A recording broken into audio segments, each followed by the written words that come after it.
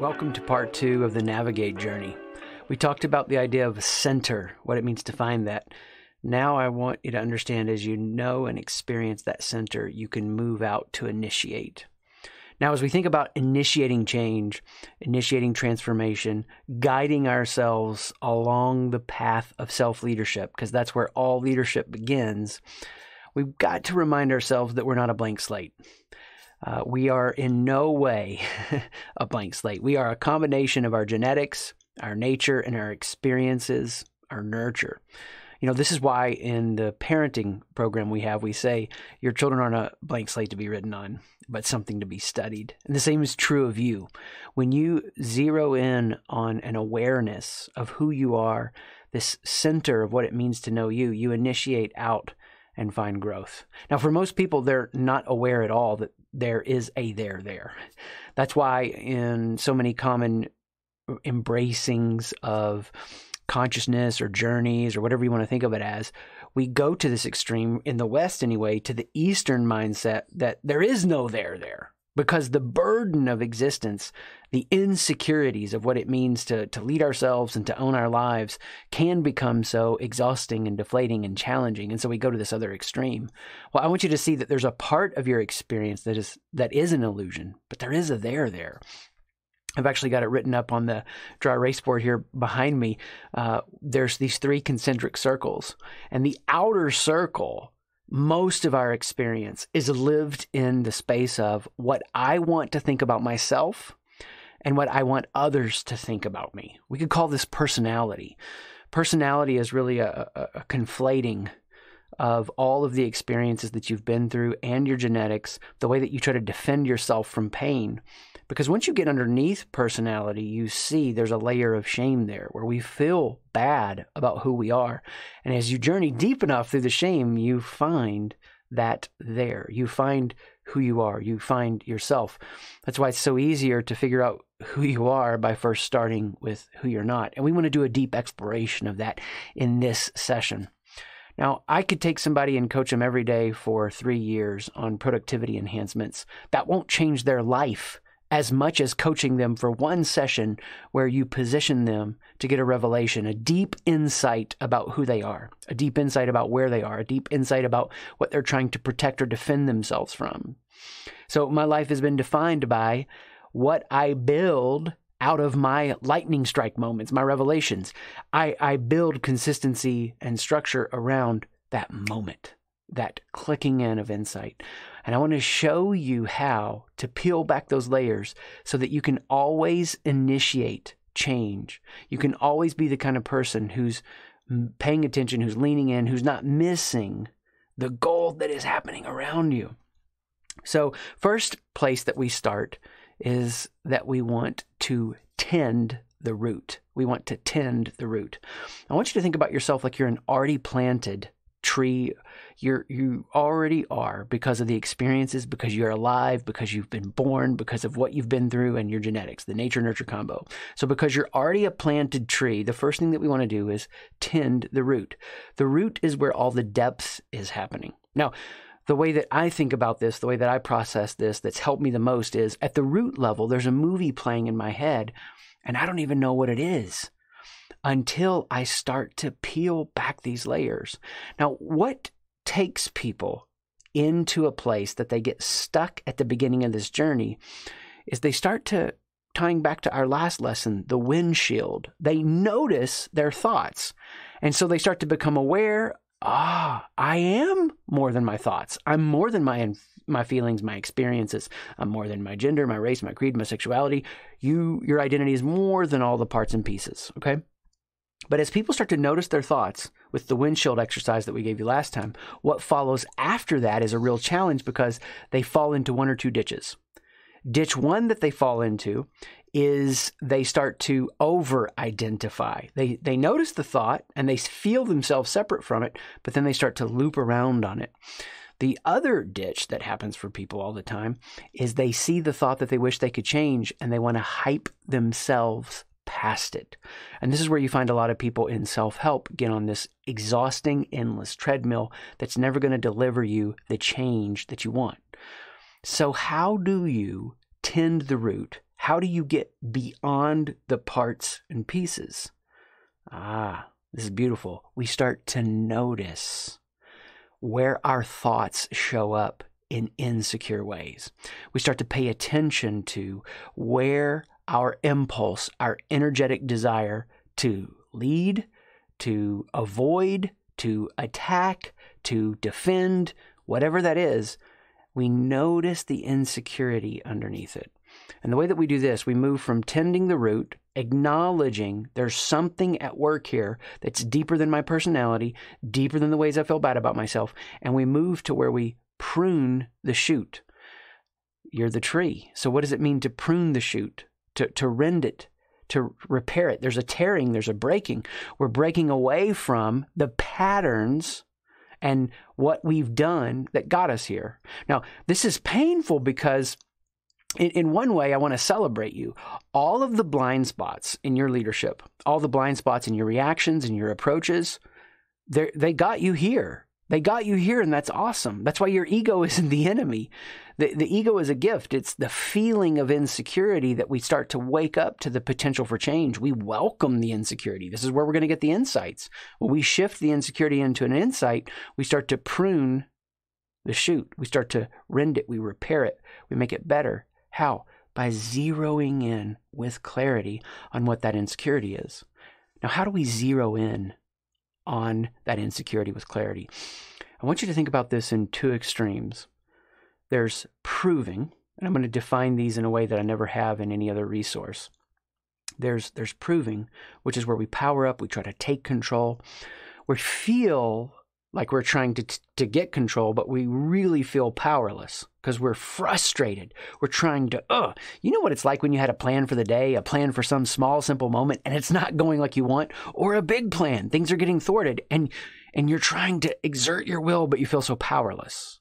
So that's what happens when we're proving, when we're trying to convince ourselves or others of something. Externally, we're seeking to impose something on others. The other extreme is hiding. Hiding is where we give up, where we diminish, where we uh, we could take some action, but we don't, and we create whatever labyrinth we need to create of if then this that that keeps us from taking and assuming responsibility for our lives. This too is a powerlessness. This too is a frustration because as we are hiding, we're finding ourselves disempowered, a loss of the very thing we want to find as we know our identity, which is agency. There is no more powerful choice that you'll make in your life than choosing what defines you. So if we're not proving or hiding, what do we want to do? We want to cooperate with what's unfolding. We want to cooperate with the circumstances that they're unfolding and find the through line to where we're going to be able to bring a vision to pass. Rather than fighting against the reality, we accept it. And that starts at the thought level.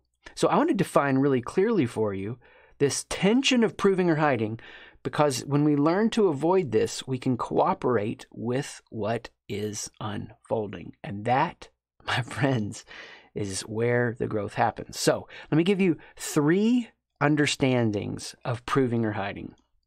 Tension points. Tension number one I'm going to take what this moment can give me, or I'm going to let this moment play out. So, um, when I was meeting my in laws for the first time, my father in law had invited me to be the one to grill the chicken on the barbecue. Now, because uh, how I'm wired up, I have a tendency in moments when I feel insecure to rush in. And I'm going to try to convince someone I have what it takes, that I can do this. So he asked me that. He invited me into this. And guess what? I was like, sure. Here's the problem I had never grilled before yeah, 21. Maybe I should have known it by then. I'm an avid fan now, but I wasn't at the time. And I can't imagine what he thought as he watched me out there on the grill flip the chicken. 30 seconds, flip the chicken. I had no idea what I was doing. Flip, flip, flip, flip. You're not supposed to do it that way. That's the way I did it. So I wanted to try to seize a moment and try to get some validation. I'm going to prove myself in this moment.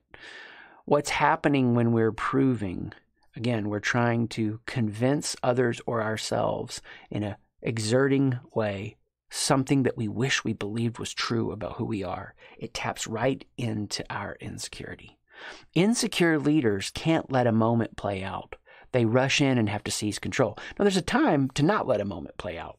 But more often than not, if you're if you have a tendency to prove, if you can't let a moment play out, you're missing the opportunity to see what's really going on and how you can bring your best leadership to bear.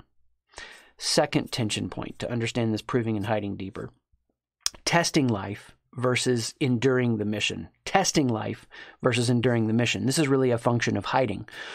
So, years ago, we were in a situation where we got into a lot of real estate complication, trouble, finances uh, with the real estate crisis that had happened. And we had a house that we needed to sell so we could move. And in a sense of desperation, we had done all we could. I remember one day I just shut myself in a closet and was like, I'm not leaving till this house sells. you know, it's this idea of like, I'm going to stay in here and, it, you know, this has to work out like I want it to, or I just give up. We do this all the time when we test life. We put these things out there. Well, if he calls on me, I'll speak up in the mission. Well, if she brings this up, then I'll address this boundary I need to define. Well, if they give me an opportunity to ask for a raise, then I'll do that. Whatever it is, we don't want to test life. We want to be the kind of people who have the vision, the mission of who we are, of who we want to become, and we just move forward on it every day. We're avoiding the tendency that I talked about in the first tension to try to control, but we're also aware in this moment that we're not trying to passively draw back and make this situation go the way we want it to, which is hiding. Tension number three I want you to think this of me versus I want to serve you and give you what you need. I want you to think this of me versus I want to serve you and give you what you need. So, what we see here is this proving and hiding starts to progress, it manifests itself in relationships. And one of my lightning strike moments that was so powerful, and I've told this story in a couple of other resources, so I'll just be brief here and say I remember being at a restaurant with my daughter when she was three. She's now a teenager, old teenager. and uh, I remember sitting there with her, and I was going to make the moment about me. Look at me as a dad taking. I wasn't going to say it out loud, but the narrative that I became aware of in my mind, what I began to notice as I tended the root, I noticed my thought, oh, I'm making this moment about me. And so what I did was I pruned the shoot and shifted from trying to get validation for me for what I can get to give to her. So that, hey, little three year old, you're not responsible for the existential needs of my identity. Make no mistake, all people are insecure. All leaders are insecure. We all have insecurities. And people are proving and hiding every day in different ways. Now, we've been saying this for years, but it was great to see a resource come out a couple of years ago by Robert Kegan, the adult development specialist, who said this Everyone is doing a job they're not getting paid for at work. Everyone. And he goes through all this list of all the people that are doing it. And he calls it one thing. He says, they're hiding. Now, what we know is they're not only hiding, but they're also proving. So, the adult development specialist writes a book on culture for the workplace. And he says, everybody's doing a second job, nobody's getting paid for. Proving and hiding are a massive part of our lives. Now, the energy of this doesn't need to be we obsessively try to what? Replace, or we don't need to obsessively try to kill off the proving or hiding. We replace it with the healthier truth and thoughts of who we are. I'm going to walk you through how to do that as we take the rest of this journey. But to get you there, to help you get into that space, I want you to think about taking the next step on this analogy we're using in this navigate journey. Remember, I'm helping you navigate the journey of self leadership. And last session, we talked about the windshield. What do I want you to do in this session? As an exercise, I want you to construct an antenna.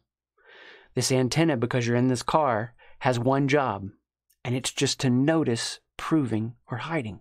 So last time I said, just notice that you're more than your thoughts. This time I want you to notice a blaming thought, a thought where you seek validation. Whatever would show up for you, where you're trying to convince yourself or others of something by overexerting yourself or diminishing yourself. Just find one place where you're seeking to overly control something or you're tolerating or avoiding something, hiding that's going to hurt you. Listen, this is not self centered. Because when you do this kind of work on yourself and you tend the root, you prune the shoot, what ends up happening is you mend the fruit of who you are. And as you mend the fruit of who you are, what you offer to yourself in leadership and what you offer to others becomes more whole and healthy and nourishing. It's the way of transformation, it's the way of growth. Now, it's hard to see something that you're already used to. When you see something over and over, it's hard to see it. My hope for you in this session is that you see yourself with fresh eyes. You see a depth to yourself that you may not have known was there. You see insecurities. This journey might get harder before it gets easier as you see these insecurities. The beautiful parts of who you are and the insecure parts of who you are. Because where we're headed is an experience of a transformation at the root level of your identity, where everything that flows out of you, you become aware of, and you're able to cooperate, not trying to prove or hide. I know it's difficult to believe in an experience that you've never had.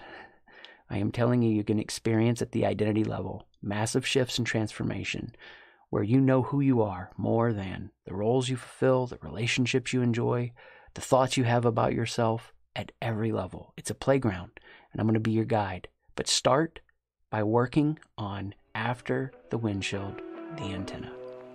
Peace.